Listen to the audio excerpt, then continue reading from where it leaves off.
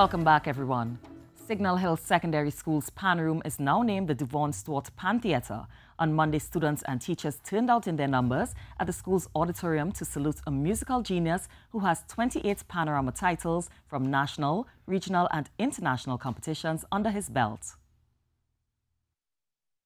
of Duvone Stewart's outstanding contribution to the steel pan fraternity, his alma mater Signal Hill Secondary unveiled the Duvone Stewart Pan Theatre.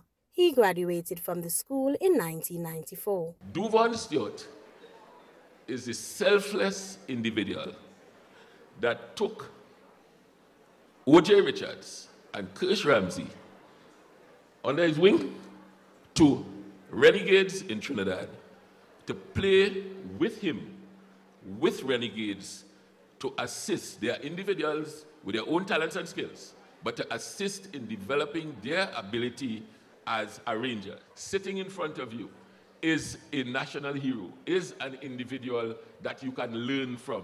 Mr. Stewart hailed the tribute a pleasant surprise. I never saw this day coming, but I'm very honored and privileged to be in front of I see a green and yellow colors that I was once a part of. I'm still a part of it. Saying thank you for all the support, the musical genius reflected on his time at the school. I was, one, I was once inside this auditorium, miserable, in it?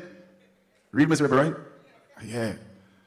Coming from a humble beginning, blessed by good friends who saw a process that I didn't know what was going to happen for me personally, you know?